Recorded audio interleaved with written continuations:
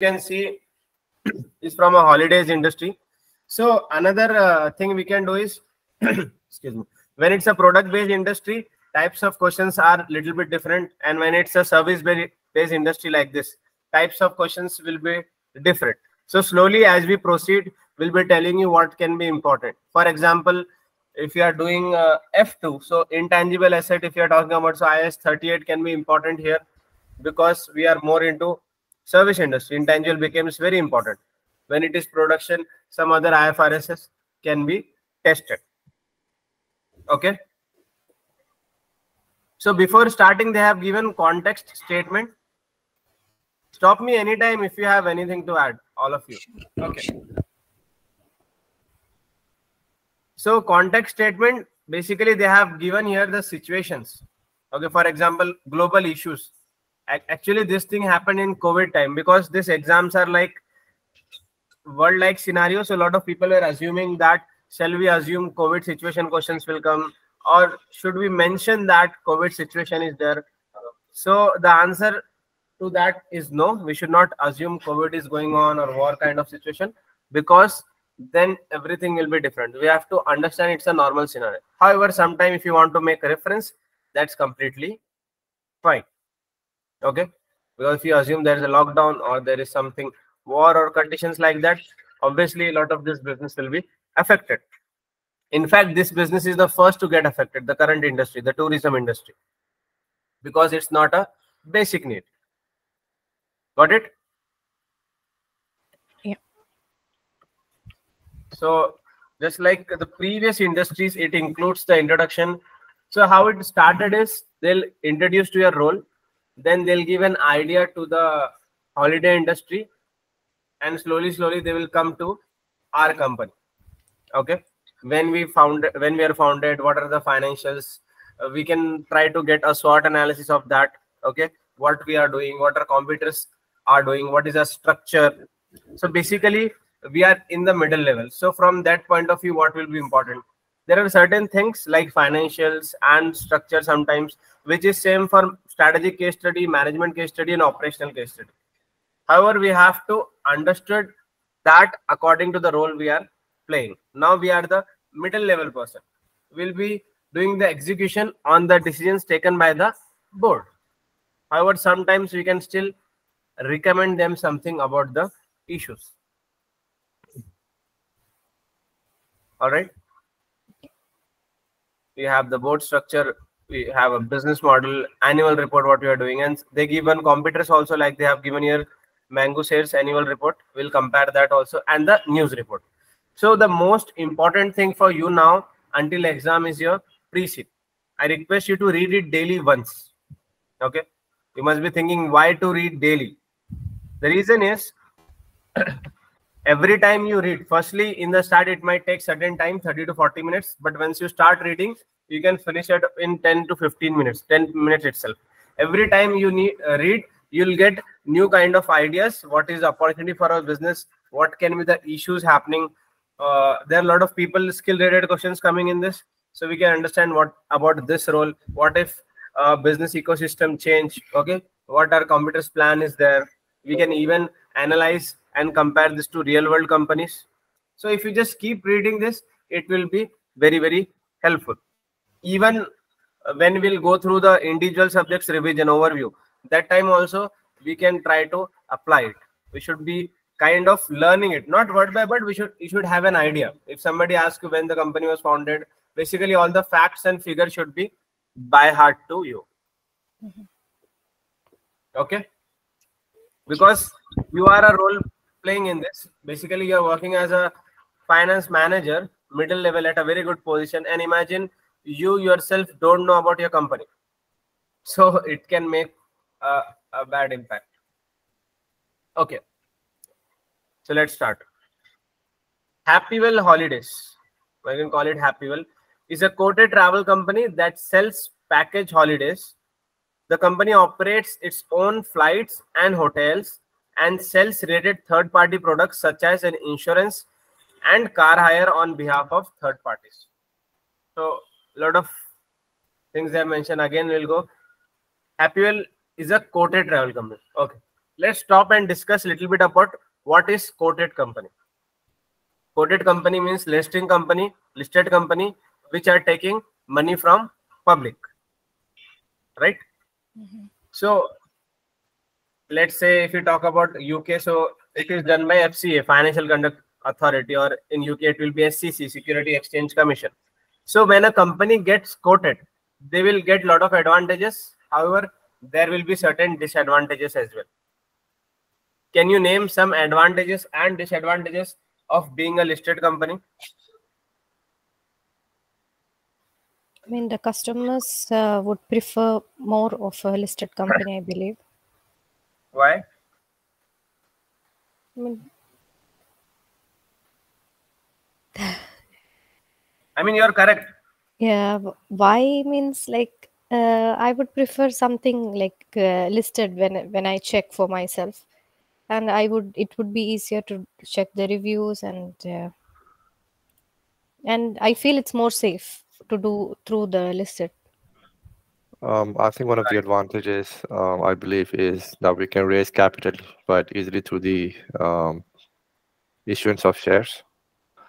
Um, so that's an advantage of a of a listed company, and um, I think the risk is um, also manageable. Risk or disadvantages? Any words you can use? I'm sorry, what? Um, would you repeat I mean, that? or disadvantage? Yeah, yeah. Um, I think the disadvantage would be that um, they have to follow a lot of laws and regulations as compared to a company which is not listed on a stock exchange. Um, and also another disadvantage would be um, there might be issues in terms of ownership and control because everyone who actually owns the shares owns the company, right? So yes. this, yeah, so that might be a disadvantage. Um, um, yeah, I mean, those are the ones I can think of at the moment. Good. So first we talk about, uh, like CG said, uh, we'll trust them. Yeah, so uh, trust is there. Why? Because when it's listed, when they're taking public money, so they have to disclose a lot of information. They have to follow certain rules and regulation. Basically, there is more scrutiny than the normal business. So trust factor is more. That's the advantage. Second, like Hanan mentioned, easy to raise capital. Being listed now, if you want to grow, we can grow at a faster pace because access to finance is there.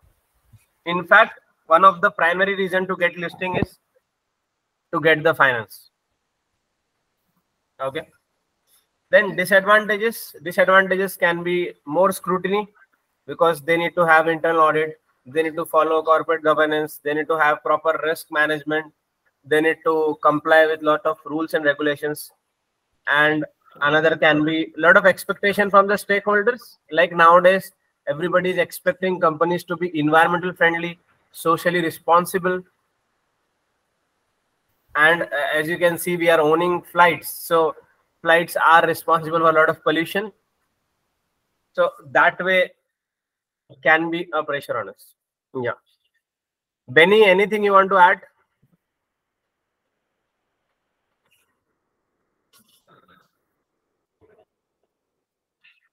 Benny are you there?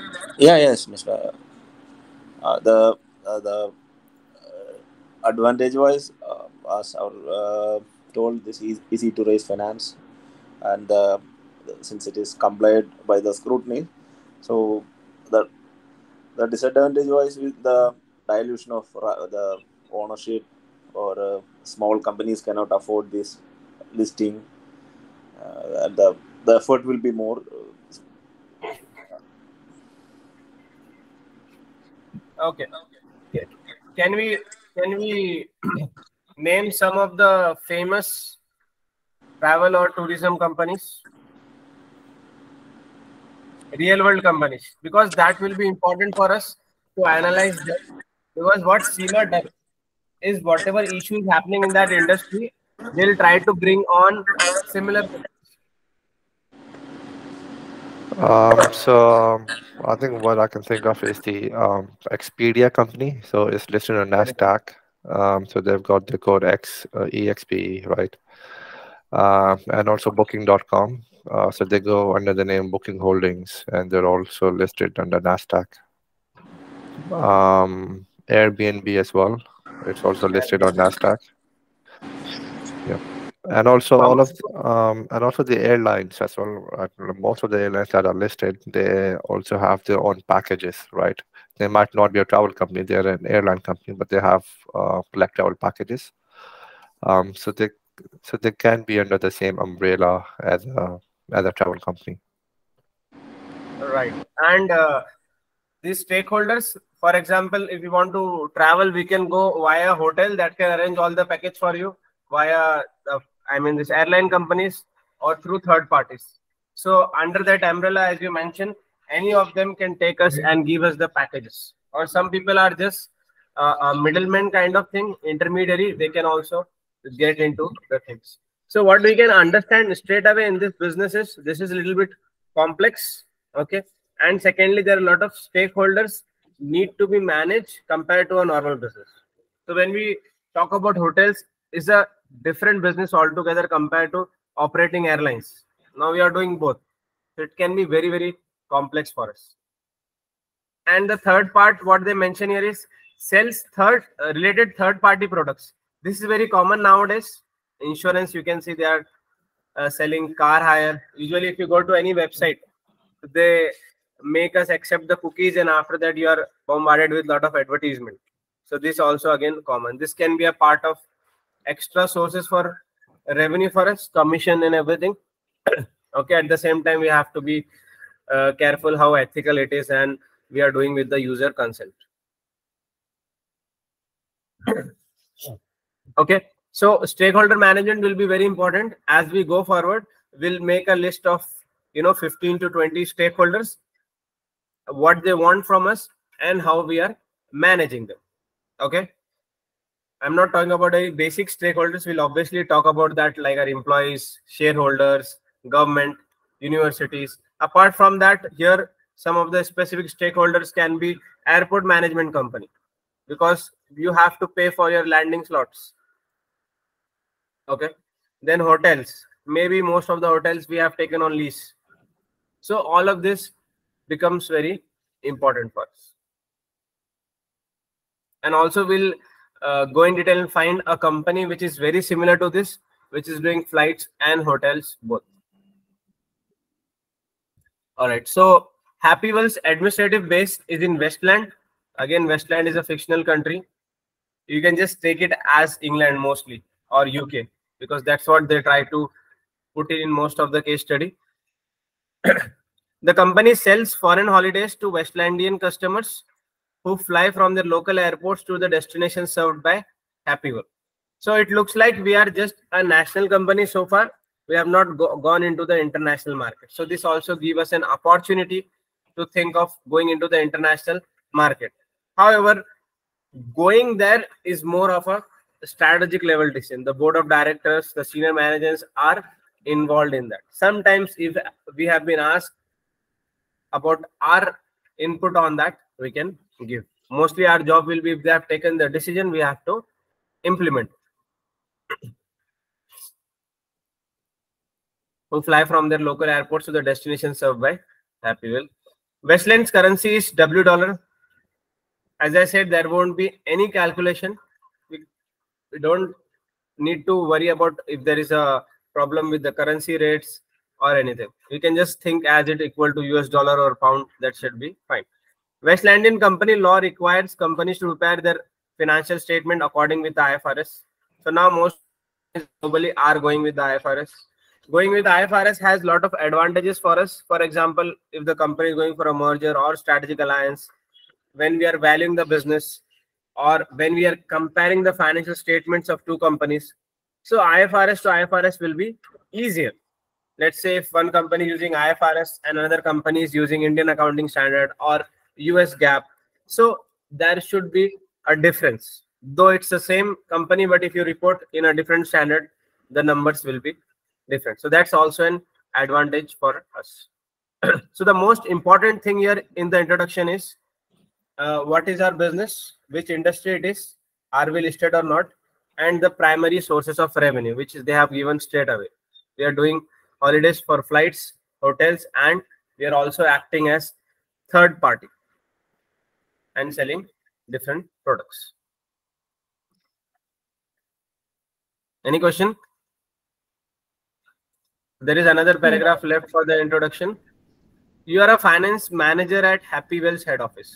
Your primary responsibilities are associated with management accounting and you report to Ina Johas, the senior financial manager who reports directly to the finance director. okay. So we can just uh, stop for a minute here and discuss what is the role of financial manager. According to CIMA, if you see, they think uh, or they put organization as a triangle and that can be subdivided into three sections. So on the top, we have senior finance manager who is working directly with the board. Then we have finance manager sitting in the middle. That's you in this case. Then a person reporting to you is a finance officer. So we are at the center of the organization. So what kind of role a finance manager does?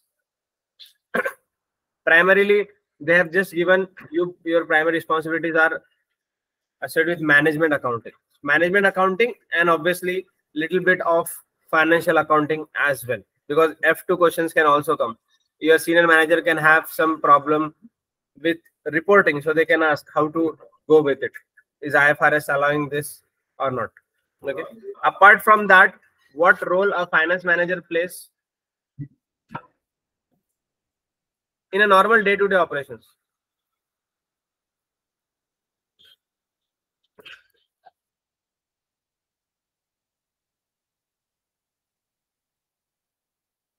Um, I think so. We're looking at um, management reporting, right? So we're looking at how.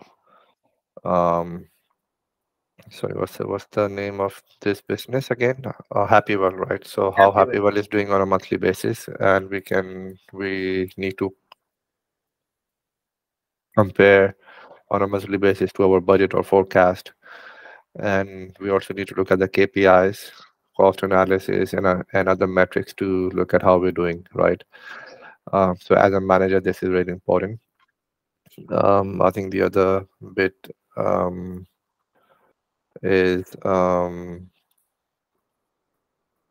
strategic analysis, right? So if we look at how we're doing on a monthly basis, we also need to look at how we will do in the future. So we need to come up with um, uh, strategies to minimize risk and um, basically optimize our numbers. Right. So the primary thing can be, you know, dealing with the number, the specific ratios, and other Yep. financial requirements of a business like capital needs, then sources of uh, finance, okay, liquidity management, cash flow management, all of this. And beyond that, they need to also be looking at the future expenses coming in and how things are related to other as- aspect of the business. so in, in CIMA case study, you'll be tested on five primary skills. That is like first business skill, then you have technical skill, people skill, leadership skill, and digital skill. So in technical and business, they might ask this question, but when it comes to leader and people, usually they'll put a scenario of a conflict between the managers, or there is a issue of change management happening, or we have to make certain redundancies. So that is also one important aspect of us. In fact, E2, E2 will be covering that aspect only. Okay, so that's also a role. So what I will do now, immediately after the class, I will share you the blueprint of MCS by CIMA. In that, they have given in detail the role and responsibilities of financial manager. So please go through it. It will be very big file, but you at least focus on the specific pages. Two, three pages is very important. If you don't want to read everything is fine. Okay. If you see a lot of questions in the exam are coming from there. I mean, not exact question, but it will give you an idea. It is coming under this heading. It is, let's say, they talk about one role is to manage their team, including conflict management. So a question can come up. There is one manager and another manager at same level. There is a horizontal conflict, or a senior manager or a manager reporting to him, there is a vertical conflict. Like these issues can come.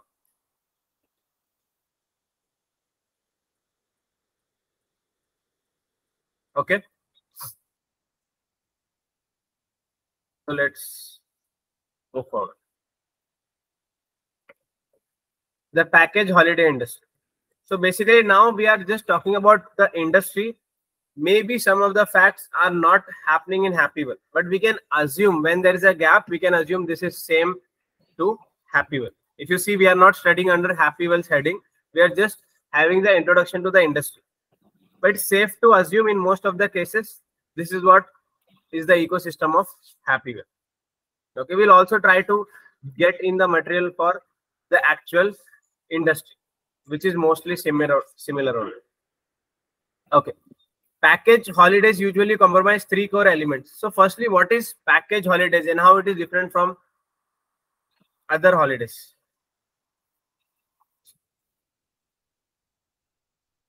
You want to make any guess? It's very simple. So package holidays, um, so we just need to basically buy a package, right? So everything is included in the package. Um, so we don't really need to plan anything, right? But other normal holidays, um, outside packages, we have to book our own flights, we have to book our own hotels, we have to we have to plan where we need to go in the holidays. Um, so I think that's the main difference. Right. So basically, there is one company who will organize everything. For example, if somebody is coming to Happywell, now it's our responsibility to give them every service from door to door most of the time. It can be airport to airport from your city or sometime door to door. They'll come to pick you up from your home and until they drop you back to your home. And obviously, most of the companies, or I would say majority of the companies, don't do everything of their own. So now they'll be tying up with other players and they'll have a lot of commissions to deal with other players. Or sometimes there are certain companies who don't own anything. They are selling this package holidays just being a intermediary company. Okay, so same point what we discussed, managing relationship becomes a becomes a very very important point here. And if we are doing it properly, if we are having good relationship, we can pass it on to the customer, and we can get good deals for them, uh, giving uh, good businesses to our partners, and ultimately it can help us to also get good profits.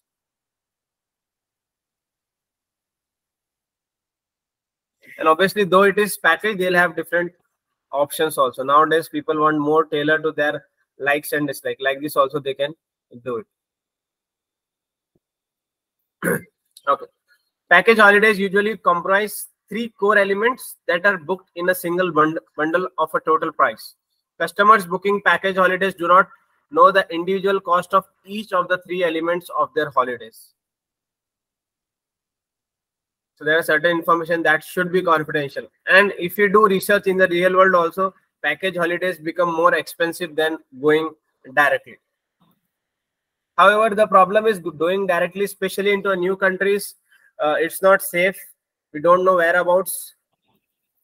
So people try to go with the package holidays. So we can just compare, okay? When you are reading this, revising this point, just write it down now. Need to compare package holidays with the normal holidays. Normal holidays, as, in, will just provide the flight service. Rest they can take care of because there must be certain group of customers who are okay to only get the flights. Then they will take care of the rest. Or there are certain people who only needs accommodation because you know being a listed company we will have constant pressure of increasing the profits earning money for the shareholders so we can compare both the upside and downside with package holidays and normal holidays.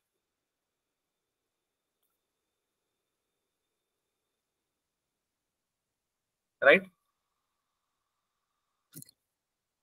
okay. Flights. Customers choose the dates of their departure and return. They can choose from a range of destinations served by local airports that have flights matching those dates. So there is a limitation and usually package holidays can last for a week 15 days they are not very long in that also they try to cover you know a lot of things so some people are not happy because they don't give enough time in certain locations okay or the other group of people can be happy at the same time they are covering a lot of things. So we have to go with the group here. Then accommodation customers choose a hotel or other accommodations such as a villa at their chosen destination.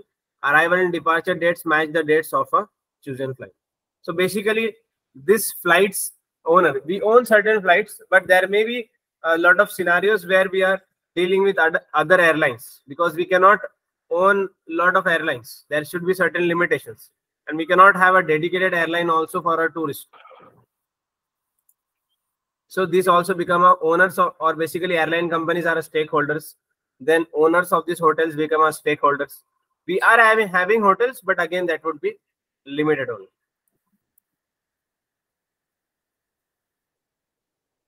Later on we'll come to risk. Just like stakeholder analysis as i told you we'll have a 15 20 stakeholder list we'll also make risk. We'll try to list at least 40 to 45 risk okay uh, what our stakeholders can face and how we can manage them. Basically what we can face not stakeholders because if they face it can be reputational risk for us or loss of business for us in that way. Okay. Then transfers. Customers are met on arrival at the destination airport a coach or taxi takes them to their luggage and their luggage to their hotel. They are collected and returned to the airport for their flight home at the end of their holidays. Like it's uh, self-explanatory. But transfers also remains a very important part. That's a biggest hassle for a lot of people when they go into the new country. And this transfers doesn't mean only from hotel to airport. It can also between you know when they are traveling within the city or when they are traveling outside the city to do a day two with them.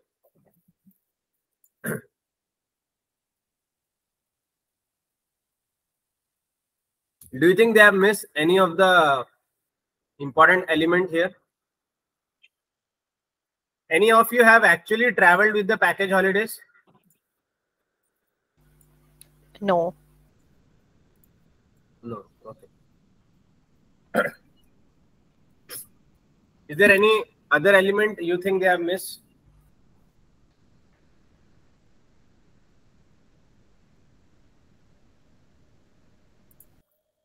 I mean, the major ones are covered. Then sometimes they have guides. Sometimes they have individual cars also they arrange. Um, I think we're missing. So we have accommodation, transfer, and flight, but we're missing activities. We're missing uh, meals, and there might be other stuff like travel insurance. Right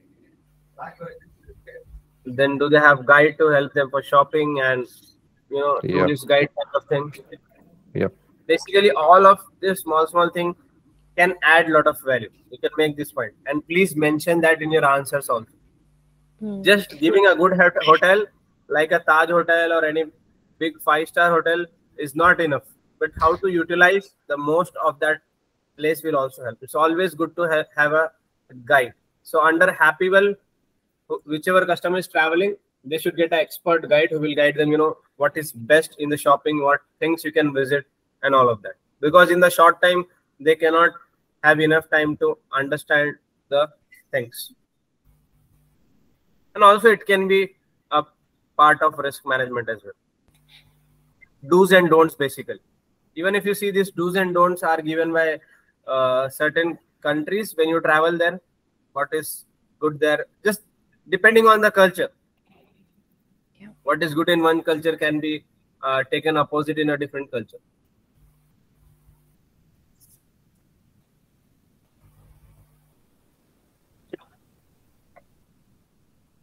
okay.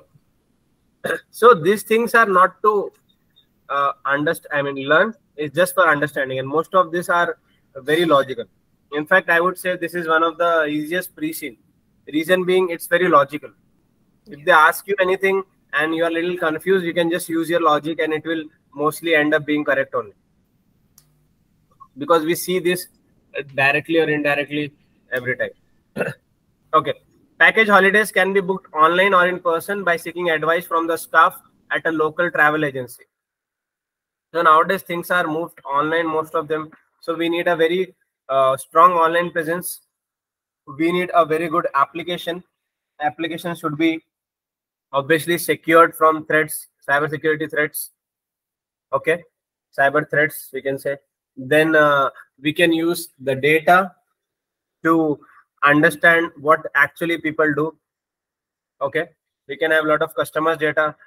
Later on, they'll mention uh, how many years we are operating. We can use our previous data compared to now how the trends are changing for the people okay then when we are doing acquisitions or merger in this industry i believe data can also be one of the reason why companies can acquire other companies let's say an international company like happywell is planning to go into the new market they can acquire a local tourism company. So they'll have a lot of data and a lot of resources ready for them to get started soon.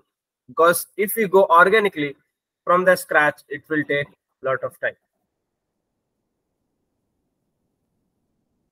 Then one more thing comes in, is where we are keeping data. Do we have uh, are we moving it to cloud or are we doing it in house okay that thing is also important then we'll see at the board level do we have somebody who is dedicated for it as it director or cio that is also very important nowadays in companies okay all right. Then or in person by seeking advice from the staff to a local travel agency. Though we have moved online, but still we need to have some offices because a lot of people will gain trust when they meet in person. Okay. We can focus on online, but we can have some of the offices as well. And where to locate office strategically, maybe in the airports itself, or maybe in a tourist place. So that need to be done very strategically. and also we need to understand what kind of packages we are selling. Like we have seen in E2, E pillar actually, we can uh, we'll see it in again. There are different kind of product, cost leader and differentiator. Cost leader focus on cheap products, cheap as in not in quality but in pricing, less price, like most of the Chinese products. Whereas differentiator focus on little bit of luxury products. So based on that, also we can classify where to have our uh, office for agency, what kind of marketing we are doing, what kind of clients we are targeting. All of this remains very, very important. There is one uh, quotation in marketing, uh, very famous. You guys might have heard. Half of the money in the marketing goes for waste. But the problem is we don't know which half. So basically 50% of the money is wasted because we are not targeting, but companies struggle to understand which 50%. So with the help of data, with the help of other companies, we can at least try to reduce our marketing expenses by increasing the effectiveness. Okay, because marketing will play a very, very important role here. Because this business is more of marketing, isn't it? Marketing plus reviews. First marketing that is i should know about the company okay? Then reviews what reviews the customers are putting in. Third is the pricing. What is your pricing compared to the competitors? And obviously what you are giving in return of that. These are the three important things i believe. Is there anything? What can be the fourth thing think as a customer first because they are the most important stakeholder what you will look in a travel package company, travel company? I think the timing as well, right? Um, I think that needs to be right. If I want to go on a certain date, the package has to be available on those dates. So I think the time, yeah, timing is also. Timing is uh, very important. Yes, how many days? And again, here data can also help. Some people want to go for a longer one. Some want to just go for a five to seven days five nights, seven nights, whatever they are planning. Usually, if you see uh, in the market, they have standardized uh, days only. Like some will say five nights, then seven, then nine, or sometimes they'll do bespoke that weekend. There is another thing uh, we need to focus on is a loyalty card. Loyalty card or subscription thing. subscription model is very common nowadays across industry. So what will do it will lock the customers. Customer will be demotivated to go into another company. Firstly they will be charged for the subscription fees. Secondly they'll be getting a lot of perks. Just because of subscription maybe 10% extra off or some other kind of deals from the company. Loyalty card can be a good option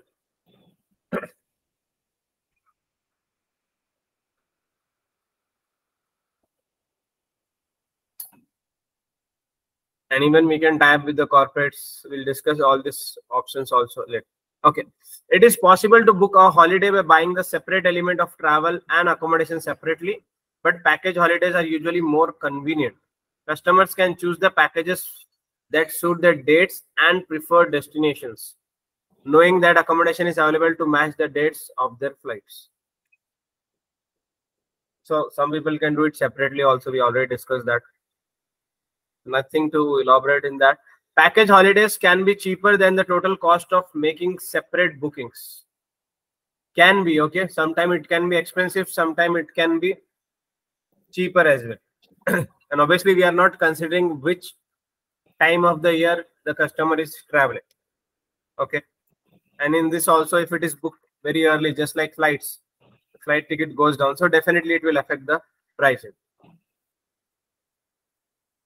Tour operators may own and operate their own aircraft and hotels. So we are the best example here.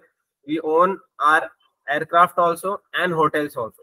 So obviously for us, it will be easier to give good pricing because we have all the margins and everything controlled within us. Or they may make book bookings on flights and hotel rooms from third-party airlines and hotel chains. The associated cost saving can be used to discount the selling price of their package holidays.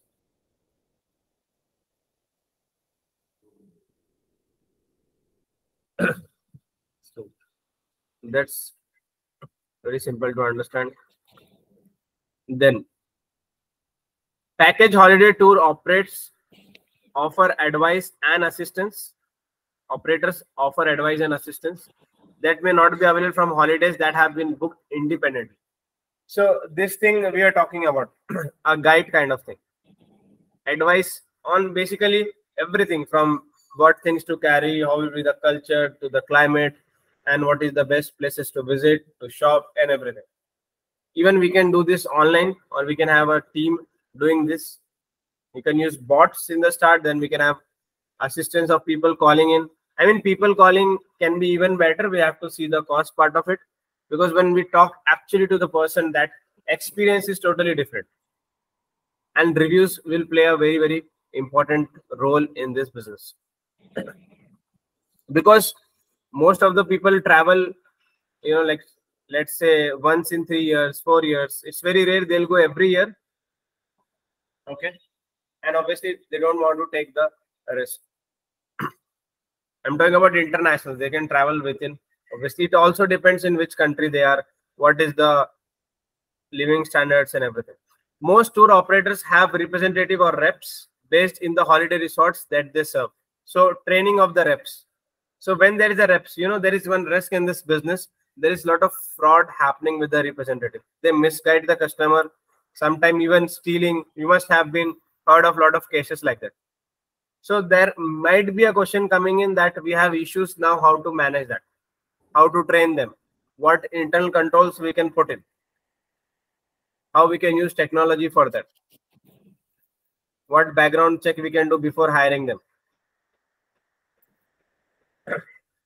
Reps can provide customers with support and advice throughout their holidays. This can include dealing with any concern or complaints that might otherwise spoil a holiday recommending local attractions and assisting in the event of problems such as illness or lost passports.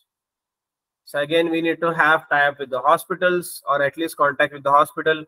Some expert knowledge related to passport as well, you know, to the embassy and how things will work, how many days it will take for the new passport, and what is the immigration laws and everything. Because we have to assume that the travel is a layman, they don't understand anything in fact they are not interested in doing all of this So there is some specific and explicit knowledge also required by our representative, which can also be changing with the time. So we need to update it. In fact, we can have one section in our website or application where people can go and report on this. We can have some to-do list for that. Okay, I'm, I'm just giving a very logical. What do you think should be an option for that? Event of problem. Firstly, uh, let's discuss what can be event of problems and how we can uh, deal with it. You guys can give your own recommendations.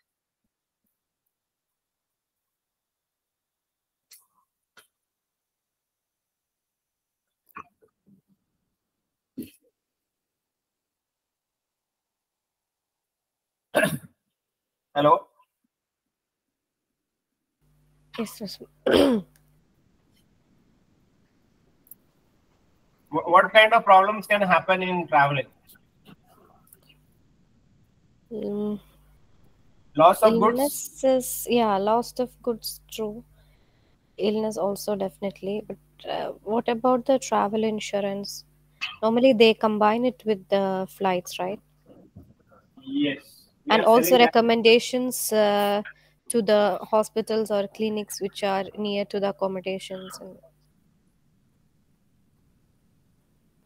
So we'll go one by one. First, talk about the problem. Then, what is the solution for that? So first, we are talking about, let's say, loss of goods. Okay, what's the solution for that?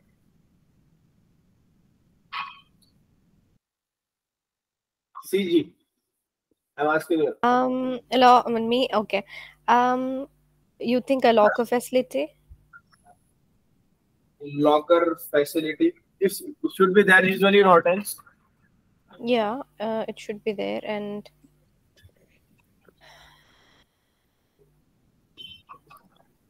Like you talk about, first thing is insurance. yeah travel insurance I mean Yeah, travel insurance usually includes, even if you're booking flight, you must have seen an advert and yeah mm. not loss of your bags, I mean goods, loss of your passport, you can do the insurance. So they will cover certain amount of cost for that. So obviously we need to find the best insurance company or we need to tie up with the insurance company to get the best deal for our customers.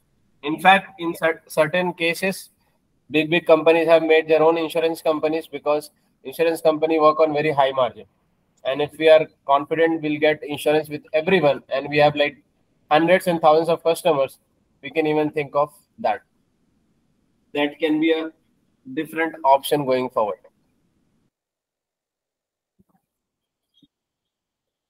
So when we are making stakeholder list insurance companies also please write it down. Okay next.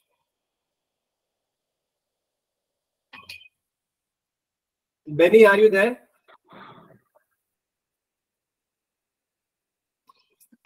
Yeah, Hello, benny Yeah, I'm sorry. Yes. please please add something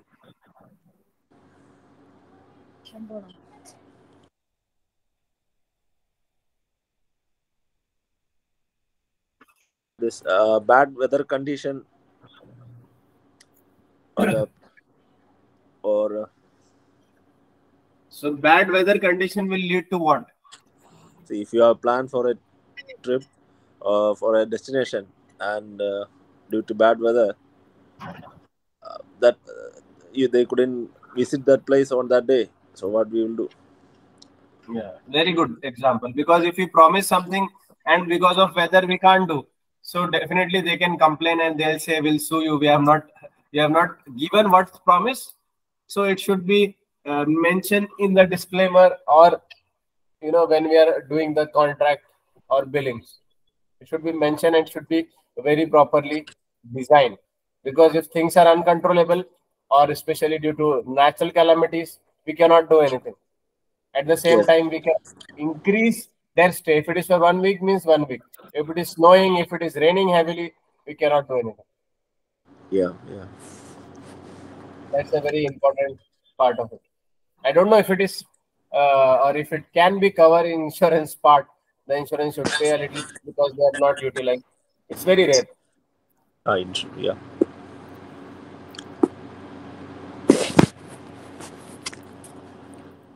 What else can be in the event, or what else is the event of problems? So there can be visa and immigration issues. Um, a lot of times when we want to play, when we want to go on a holiday to a certain place, we want to apply for a visa. Um, so there might be a possibility that we might not get the visa on time. And for that, we might need to cancel or change our travel uh, package. I think another one I can think of is um,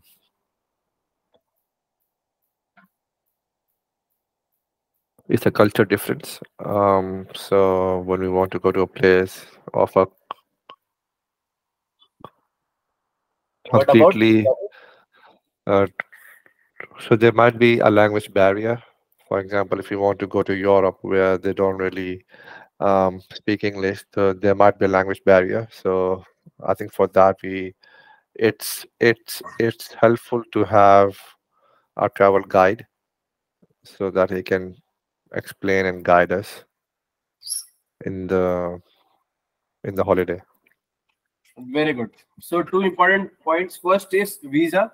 So again, you know, there are a lot of uh, risk involved in this business when we are promising the customer. So again, visa thing. Sometimes visa will take more time. So it's uncontrollable for us to do that.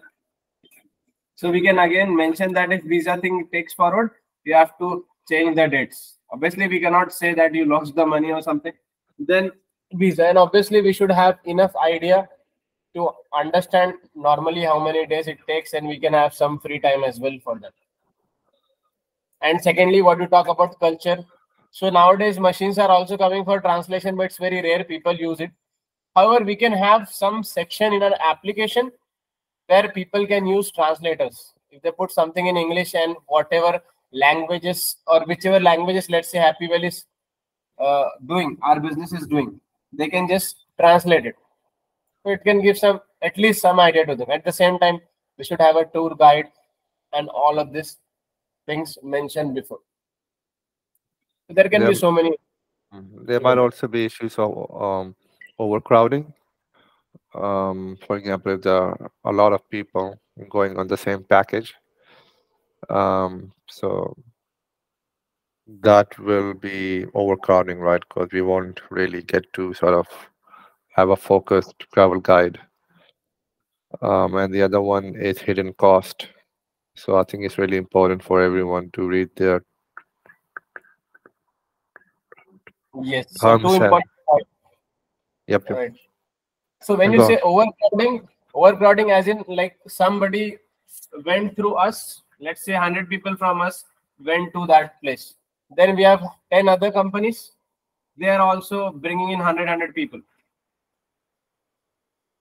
Like that overcrowding you are saying overcrowding of a tourist place or something Yeah, but also a lot of times the travel companies they also tend to overbook their holidays. So um, you know, last for example, if the limit is hundred and they've booked hundred and ten, so those ten people at the last moment would need to back out. Um, so there might be a risk of overbooking and overcrowding in in that sense. Okay. Not other way, but this and that that both are true. Yeah. Yep. They do it overbooking because they assume a lot of people will cancel or other problems will happen. Yep.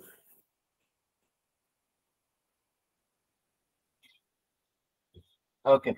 And the next was the hidden cost. Firstly, I think we should be very careful with what else can be the hidden cost for us. Okay, when we are promising certain things, as simple as food if we are serving. So, what kind of food we'll be serving? And what it includes. If there is something extra, the customer has to pay for it. All these mentions are very, very important. If we don't mention and people are assuming it, in fact, if you mention also, and that is a common practice by other companies, and if you don't provide, that can also be a reputational risk because when people are traveling, usually they want a good food because that will affect their moods directly. So we Yeah, also, need to I think that this, you know, like if you want to visit a particular place and you, if you want to go inside that place and all, you know they charge the entry fee and stuff. Like museums yeah. Yeah. The entry fee and these things. Right. So again this thing need to be clear. Most of this uh, most of the time the customer they have to pay it individually what we are promising we can do it and whatever extra is there we can say you have to do it. At the same time we can help them. All this this museums are there or these places are there. This will be ticket. This is the website. You can go and buy the tickets. And this is the pricing. This is the timing. So we can have a lot of details on our application for this. That will help them as a guide. We'll have a guide also plus obviously the application should serve it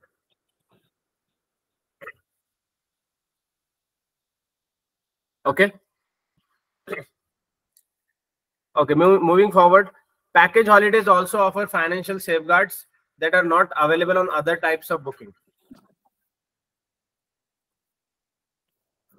Let's see what they're talking about. Westlandian law requires package holidays operators to be registered with the westlandian travel operator license scheme. So this stakeholder becomes very powerful for us. You know when we do stakeholder analysis power and interest right? Two by two. So this license scheme or this government body will become a key stakeholders because they'll have high power. At the same time they'll have higher interest. Especially companies like us which are listed we must be one of the biggest in westland. How we operate how we deal all of this will be very important so tour operators must make a payment in respect of each package holidays that they sell into a fund that is administered by WTOL. Okay. The fund is used to refund customers if their tour operator goes out of business before they travel. That's a very good thing actually for the benefit of the customer. If the companies go bankrupt or is there any problem? Because we'll be motivating customers to advance book, let's say three months, five months, or even six months or more because that will help us to uh, book our flight tickets which can be a little bit cheaper for advance booking. The fund is also used by WTOL to organize flights to repatriate customers who are stranded overseas if their tour operator goes out of business during their holidays. Go out of business or they don't have money to book any of the issues. So that's a a very good risk management by the government. At the same time for us it will be a very costly affair because it's very rare that companies go out of business. The tour operator must make a payment in respect of each package holiday that they sell into the fund. So that's an extra cost for us. So now we have to find out very cleverly what kind of insurance uh, we are doing or what kind of insurance we are providing to the customers. Because in the start, they have mentioned we sell insurance also but if the government is doing why they will buy the insurance? And what this insurance include by the government and what other insurance uh, companies are providing? Like here they have mentioned. Sell third party products such as insurance.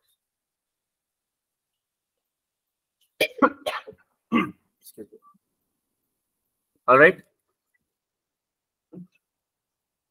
But i believe this should be mostly from the bigger issues, not for the loss of passport, baggages, and all of this. But mention this also under the stakeholder list. Now we'll go to tour operators versus travel agents. How they are different. Tour operators are entities that combine the separate element of a holiday into a package that can be sold directly to a customer or can be sold through a travel agent. We must be having travel agents as well. Tour operators may provide the elements directly through ownership and operations, operation of, for example, hotels and aircraft, or they may purchase those elements from third parties. Usually, companies like us who have their own aircraft and hotel, definitely we can make a better deal. We have better uh, risk management because we are controlling things directly what if we do a contract with certain companies and that contract didn't work out that can also be a problem Travel agents are organizations that sell holidays and other travel products such as airline tickets and hotel bookings to customers. They're specific to things, and most of the time they don't have any of this as a ownership. They are just uh, being the face of the hotels and these companies.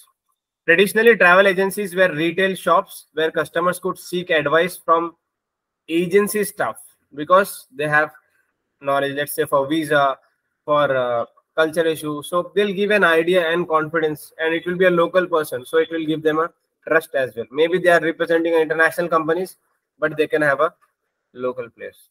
In fact, this can be strategy for us if you are if you are going in a new country. Now from Westland we are going into Eastland, Southland. Any new country we can have a travel agents there. Such agencies still exist, but many travel agencies offer online services that enable customers to select and book holidays through travel agency website. Nowadays, most of this thing have moved to online business. We have a lot of uh, companies which you cannot see their physical presence anywhere. Only online, they're spending a lot of money for branding and they're generating good amount of traffic. In fact, in this industry, no hotel, airlines, we need intermediaries. Okay. Because suppose there are four companies, okay, and we are the one giving the cheapest. So how we can sell to our customer and tell them we are the cheapest? So maybe we are only inventing a company who will just be an intermediary to put all the companies and compare the rates. Then only our business will grow. At the same time, the company which is selling uh, the highest, maybe the same service, but at a higher cost, they won't be interested to have an intermediary. They will eliminate the intermediary. Why? Because it will show them as the most expensive. They will be expensive and assume that, I mean, look to the people that we are just average pricing. So it depends. It can help certain businesses or it cannot.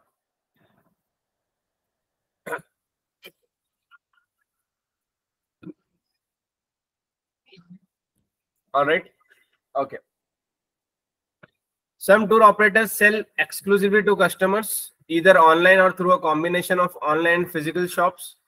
Other tour operators permit travel agents to sell their holidays package in a return for a commission. Second one is usually a good deal and very common work on a commission base because they already have a brand. These people have just to go and do the sales.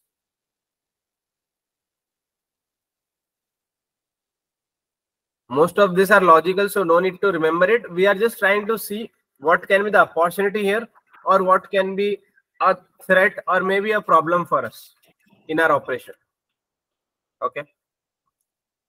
Because risk management is also a part of us if you see P2, when we'll go through, we have two chapters focusing on risk management. Though at strategic level, we have an entire P3 focusing on risk management. P2 also have, after budgeting, some aspect of risk. Because risk management is responsibility of everybody in the organization. And we go when we go through this, we have to find what can be the risk. Not only risk in our operations or way of working, what can be kind of threat, which can be a business risk in the future or why certain businesses are doing more sales than us. Maybe they have a lot of travel agents working with them. They are the operators, but still they have a good amount of travel agents. So they are pushing their product and services from both the places.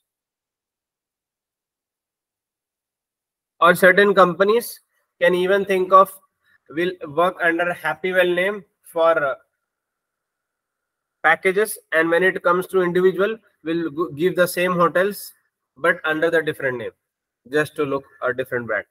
That is also possible. Or they can come up with different branding where they're selling very expensive like villas and everything expensive uh, business people they are focusing or corporate clients even some businesses go for meetings also it's not only for travel always they can go for uh, work meetings or anything many tour operators and travel agencies prefer customers to book online because it is cheaper to process online bookings than to operate shops. So a lot of fixed costs will be reduced for the business. So this is obvious for the businesses to push. This is across industries. Online sales are generally based on interactive websites that enable customers to input variables such as their preferred local airports for departure.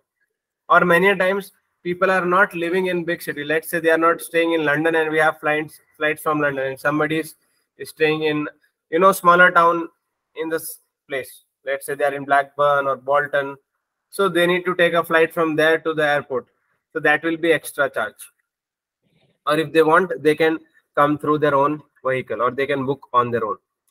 Offline sales rely on interaction with a trained travel advisor to guide the customer through the same issues. So we need advisors. We already mentioned this point. Training is important part of our business. Training is not only about the you know the details or the specific knowledge but also how they uh, deal with the customers. With the advisor offering recommendations based on customers preferences this requires the provision of retail premises and staff salaries.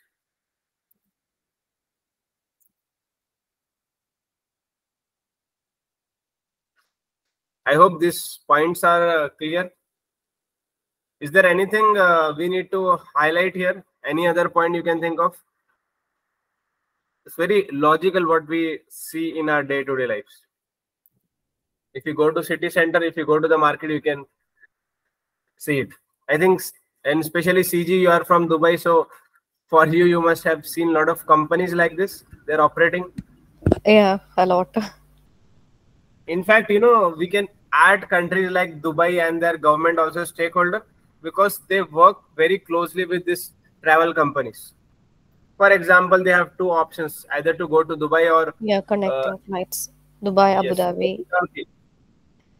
So they will choose Dubai because they have better connecting flights. In fact, the government is also giving them uh, certain supports to these companies. If there are two options which are similar, but let's say Dubai is cheaper, so people can still travel there. And after going, they spend a lot of money, which can add up to the economy of the country. In fact, Dubai is getting money mostly from the tourism only. Then their uh, next step obviously it's uh, government things but depend on visas.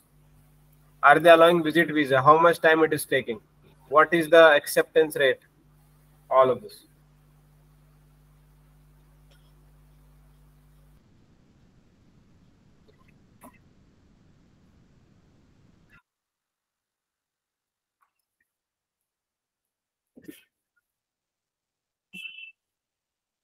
All right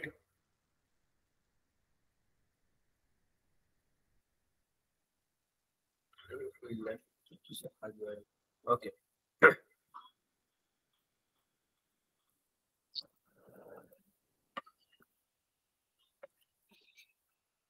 Now we have package holiday sales by sales channel percentage of online versus offline.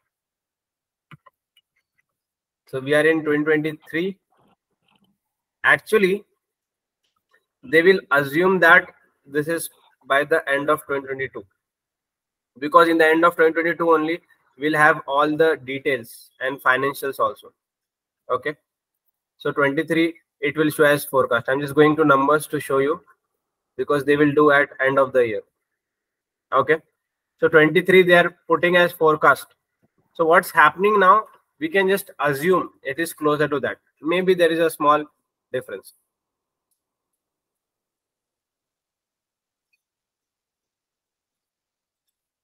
so this data is important to remember? Yes it is important. Because this we can show as a justification for certain changes in business models what we are doing. For example simply we can just say what is what are this blue blue line? So the column has blue and this orange kind of thing okay? Blue is definitely going up. That means what? Online is going up so we have to reduce our physical presence or at least we don't need to invest much in the physical presence just maintain it. Is it good for the business yes. Why? Because maintaining online is cheaper for them. We just need to spend more money or more resources rather to make our application our website more user friendly Would this Make- mean that we need to allocate more on OPEX as compared to CAPEX? Operating expense. Yes we can say that. Or we can say we don't need to spend more on capex. Capex can be other things also. If you're you know planning to uh, bring in more of our flights or hotels that is also possible. This is directly for the sales. And most difficult part of any business is sales where the sales are coming from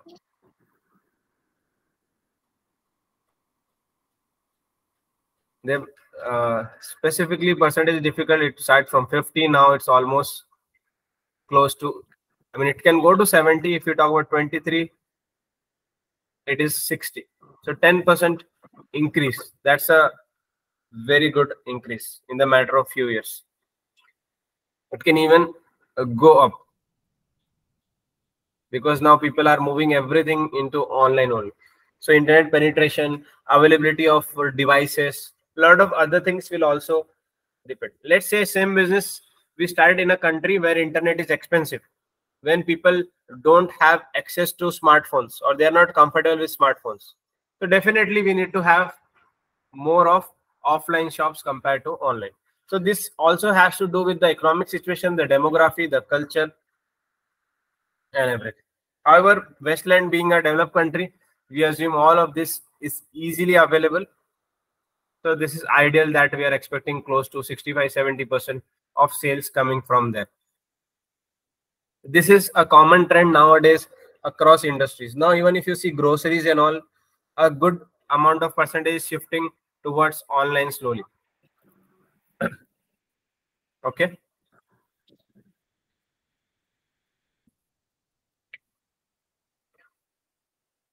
Now we'll move to package holiday destination. Actually if we do too much also it's not uh, good today only. Pressing we'll do some one or two paragraphs okay? And we'll try to discuss or link it to the other scenarios. Package holiday destinations. The most popular type of package holidays sold in westland is so-called sun sea.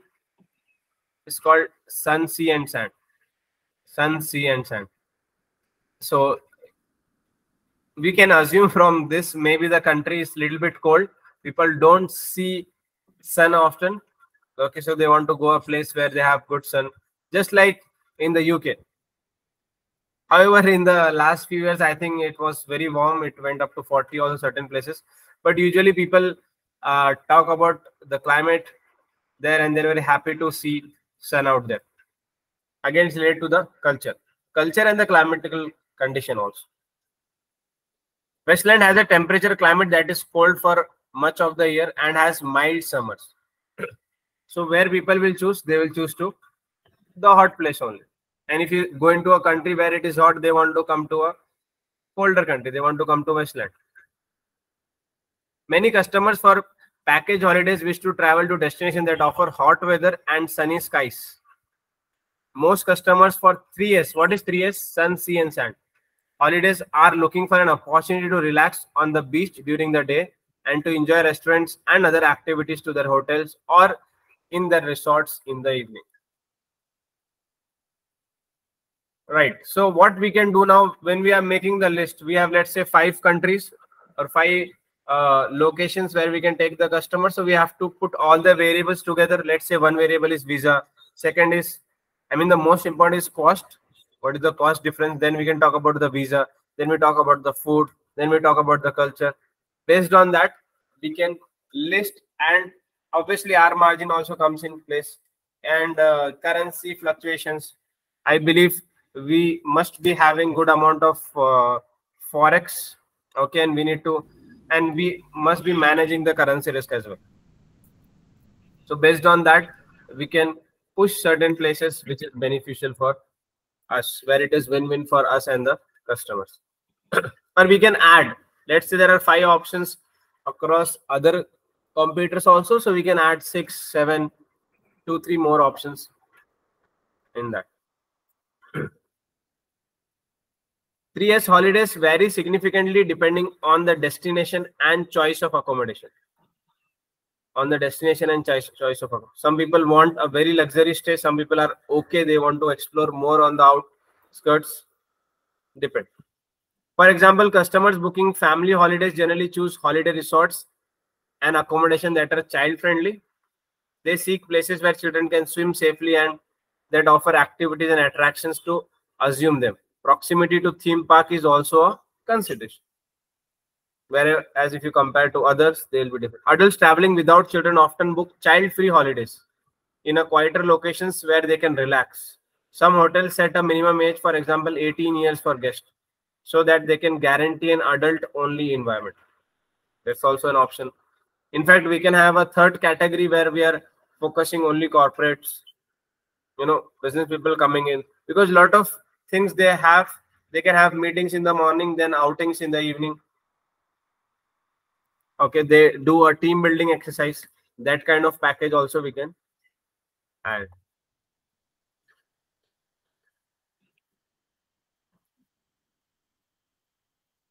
Other factors affecting the choice prevailing weather. Customers have a different preference for heat and sunshine. Some customers prefer to avoid extreme heat. Others are keen to enjoy sunshine during Westland's winter months. So in winter months only, mostly this thing will go up. Or maybe in the summertime in Westland, they want to go a different place. So we discussed this point already. According to the weather, the climate, these things need to be taken care of. So the demand will change according to the whether we need to have relationship with the other stakeholders in the business. And obviously we are operating from so many years, so we'll have some data also to back it up.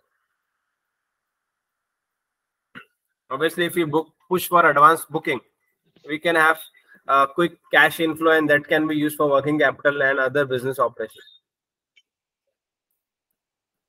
Second is cost. Local economies can affect the cost of accommodation and transfers. Some locations charge more for a higher quality holiday experience. Distance can affect the cost of flights, obviously.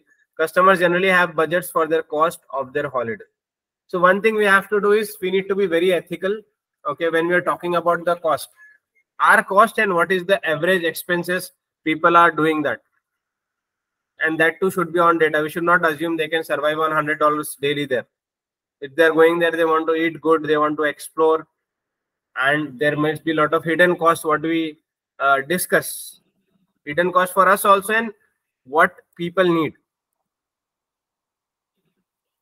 all right that thing also need to be taken care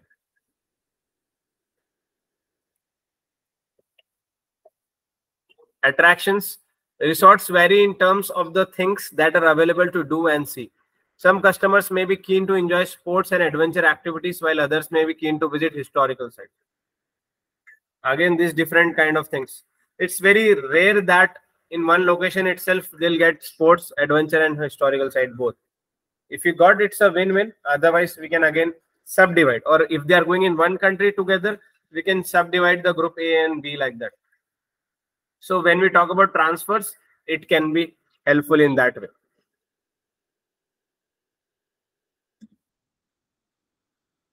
Next is travel time. Some customers dislike long flights, while others may be willing to travel further to reach their preferred destination. Long flights, especially, you know, let's say somebody is coming from Australia to, let's say they want to go in South America. You know how long it will be. And imagine they have a long long haul in between. Let's say in Heathrow Airport in UK, they have to wait for 10 hours. So a lot of people will not be happy with that. I'm talking about this a very big tour, even if it is a smaller 10 hour journey or 8 hour journey, a lot of times just to save the cost, they can have 4 hours, 5 hours, or even up to 12 hours waiting time during their transfers. That can put customers uh, into a bad mood. Okay. At the same time, if you choose that flight, it will be little bit cheaper. So we have to find a middle ground where the flight is not very expensive at the same time the wait time is not that much or even if the wait time is there minimum wait time should be there and even it should be at a very good airport maybe people will be happy to have a transit through dubai airport compared to let's say other middle eastern countries Are getting the point Yeah, I was going to tell you. It's very easy. They can even go out, I guess. Like if it is for longer hours, they can. Yes. out not There is- there is the certain other visa process. Yeah, that's it. Yeah. I think even in Heathrow also they allow. So certain airports allow that. In fact, uh, two years, uh, not two year, one and a half year before we did a did a case study on airport management company. So what we found out is airports which have more transit flight, you know, this uh, break the breaking flights, they are making more money than direct flights. Why? Because if the customer is spending time there, they'll eat something, they will buy something, they will shop, a lot of other things will happen. Whereas if there is only entrance and exit, they won't make much money because their primary source of income is the hotels and other shops at the airports. And if people not spending time, and obviously they will not buy much. And therefore, Dubai airport is very strategically placed also. Dubai and Heathrow airport in the UK. They're very strategically placed. If people want to go for a long journey, these are the two stop points usually they will look for. it has geographical advantage also. Yeah. But now in the future, now Qatar have also made a very good airport. Saudi is also coming up. So maybe Dubai have competitions now. Travel time we have discussed. Culture. Some customers prefer resort that offer food and entertainment that are similar to those at home. Food and entertainment. First, food choices. What they want. Okay, should be same. Or at least they want some standard products. Let's say KFC is there, McDonald's is there. So it's almost similar if you go in other countries. Though taste differs, but still you have, you know, okay, I'm used to it like that. And they are not experimenting with the food.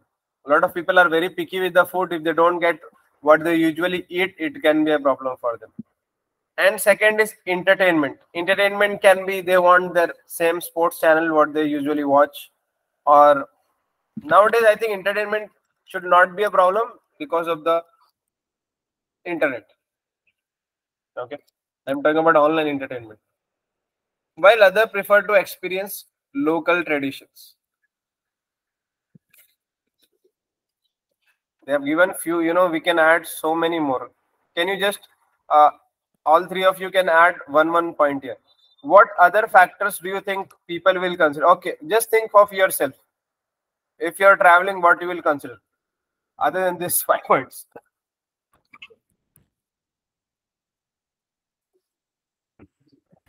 I mean, in the hotels, if they give, ac- I mean, if they provide something like the local, um, you know, their traditional food and stuff, it's more preferred. And even the, like, if they come to Kerala, you know, that we sometimes offer for the people the, I mean, the tra- traditional dance and everything. So something similar to that if they provide not all kind of uh, customers but still many would prefer to experience it when they come to that country Right. For example, people traveling to Africa, they are more inclined towards watching the wild animals and everything. yeah, Going to yeah. the yeah.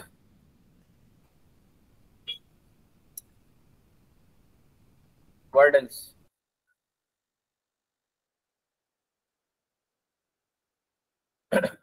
I think when we talk about travel time, it's not only the flight, but even when we are doing transfers, when we have bus, when we have car, uh, they should have a itinerary. The pickup, drop, and everything should be according to the time. Otherwise, let's say they say pickup is in the 6 a.m. in the morning and they're coming at 10. So it will obviously change the entire timetable of that uh, client. And it can make them a bad experience. Time management also plays a very important role. And other ways I have seen in the packages, what they do, especially in India in this section, uh, they try to cover a lot of things in a very small time. Okay. So sometimes they allow you to just stay there for 15 minutes, 30 minutes, whereas you might need four, five hours or entire day to explore that. Let's say if you're going to Taj Mahal, they'll say, okay, in one hour you just have a look around. It's very difficult to finish that in one hour. You need to you know sit there. It's especially for international travelers. They need to you know have this uh, one-time experience. Even local people rarely travels there. They just go once or twice in their lifetime. So they need good time rather than just rushing and advertising. You know, we have covered so many things. And when you look at the time, it's like, how did you cover so many things in three days or five days? That can also. And this can be related to the point they have uh, mentioned here the historical sites or other sites. So they need a good time. What we can do is uh, we can give them options. We are covering, let's say, four things today. But if you are okay, you can just do two. You can just do one. We'll pick you up. You know, some uh, though it's a group thing, but still we should have some flexibility in that.